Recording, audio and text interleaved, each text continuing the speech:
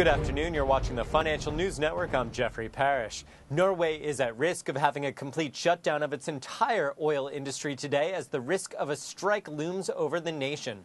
Offshore oil production could be shut down as early as this evening. Over 700 North Sea oil workers have been striking over pension and retirement disputes since June, with the strike currently entering its third week. Norwegian Oil Industry Association, which represents the oil companies, has announced a lockout that will prevent all 6,500 oil employees from going to work.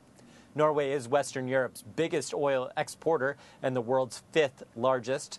The strike has already cut Norway's oil production by 15% and gas production by 7%.